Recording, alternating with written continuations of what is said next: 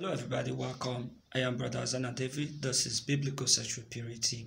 In case you're new, subscribe to my YouTube channel, BS Purity TV, and my other YouTube channel, Igwa Yupna. I had a revelation some time ago, a dream, and I think I posted it, but I couldn't find it. But I have to redo the video again because I actually made reference to it in the last video that I posted. I was in a dream and I saw a lady.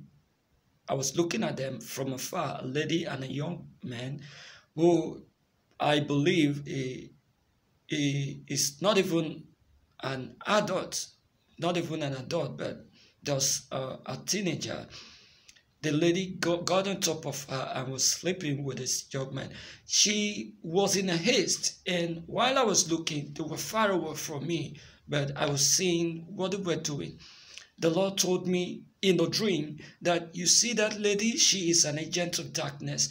You, why she is in a haste is because she wants to uh, get through with this young boy and go to another person that this is her assignment. And the Lord was telling me, I was hearing the Spirit of the Lord telling me in the dream that she is taking blood. She is collecting blood from this young man. She is on a mission and she is in a hurry because she wants to go and take blood, collect blood through sexual relationship from another person.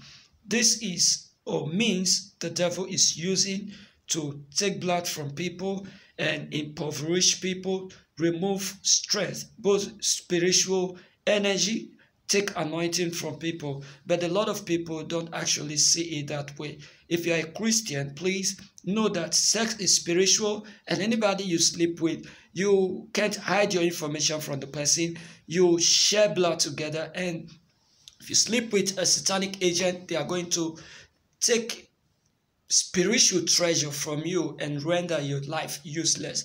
There are millions, thousands, and millions of satanic agents people are possessed today in the world who are doing this devilish work of rendering people and the destinies of men and women useless.